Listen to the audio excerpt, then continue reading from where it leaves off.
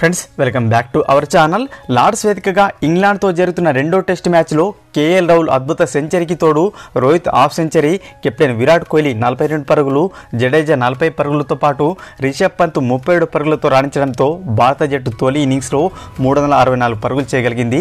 రెండో రోజు ఆట ముగిసే సమయానికి ఇంగ్లాండ్ జట్టు మూడు వికెట్ల నష్టానికి నూట పంతొమ్మిది పరుగులు చేయగా క్రీజ్లో కెప్టెన్ జోరూడ్తో పాటు జానీ బెర్స్టో ఉన్నాడు.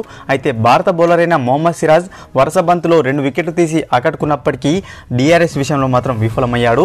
సిరాజ్ని నమ్మి అతని కోరిక మేరకు కెప్టెన్ విరాట్ కోహ్లీ రెండు సార్లు డిఆర్ఎస్ కోరాడు. అయితే రెండు సార్లు కూడా అది ఫెయిల్ అయింది.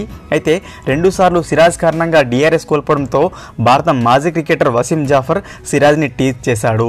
సిరాజ్ని ఆట పట్టిస్తూ డిఆర్ఎస్కి కొత్త అర్థం చెప్పాడు. డిఆర్ఎస్ అంటే డోంట్ రివ్యూ సిరాజ్ అంటూ ట్వీట్ చేశాడు. దాని పక్కన ఓ ఎమోజీ కూడా పెట్టాడు. కాగా వసీం జాఫర్ చేసిన ట్వీట్ ఇప్పుడు అభిమానుల్ని తెగ ఆకట్టుకుంటుంది. ఫ్రెండ్స్ ఈ వీడియో కనుక నచ్చితే తప్పకుండా లైక్ చేయండి ఫ్రెండ్స్.